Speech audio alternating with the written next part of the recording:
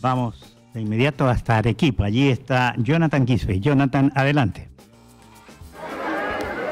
Nosotros nos encontramos en el terminal pesquero San Pedro el Pescador, ubicado en el sector de Río Seco, distrito de Cerro Colorado. El día de hoy, los mayoristas han eh, tomado esta decisión de regalar el pescado, el jurel, en estos momentos porque ellos han estado con sus camiones frigoríficos eh, más de dos días varados en el kilómetro 48 debido a este paro por parte de los camioneros y antes que se malogre en todo caso este pescado han tomado esta sabia decisión de regalarlo a la población arequipeña. Vamos a conversar con los eh, mayoristas que en estos momentos han tomado esta decisión para ver bueno, que van a regalar el pescado.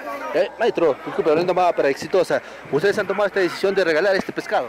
Así es, señor, porque como le vuelvo a repetir, lo que, todos los mayoristas de acá en Arequipa se han reunido de que han tomado la decisión de regalarle ese, pescado. Es jurel, ¿no? Pues puro jurel, puro jurel. también no, no, es tan malo, sino que está un poco calentado, porque nosotros quedamos varados por, la, por la bola de los transportes que había acá en la 48. Dos días han quedado varados. Dos días estábamos varados y... No tenían el hielo, ¿no? Claro, es que exactamente, como le voy a repetir, en ese momento dije que el, el hielo solamente nos dura 24 horas y a partir de las 24 horas tenemos que volver a rellenar.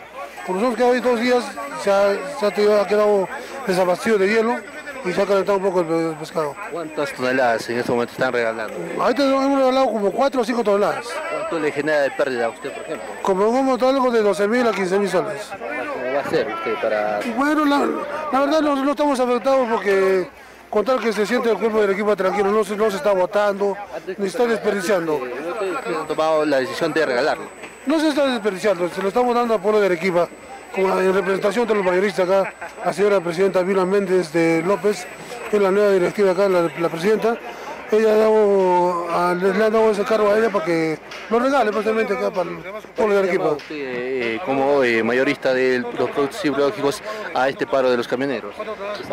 que se arregle por favor y que no, pues, no perjudiquen a más personas con, que trabajan con, con productos perecibles. Muchas gracias. ¿Su nombre? Jaime. Muchas gracias en todo caso al señor Jaime en cuanto a este panorama. Compañeros, amigos de Exitosa, ya en estos momentos están regalando este pescado, el eh, en el terminal pesquero de Río Seco. El y proveniente aquí para Exitosa Perú.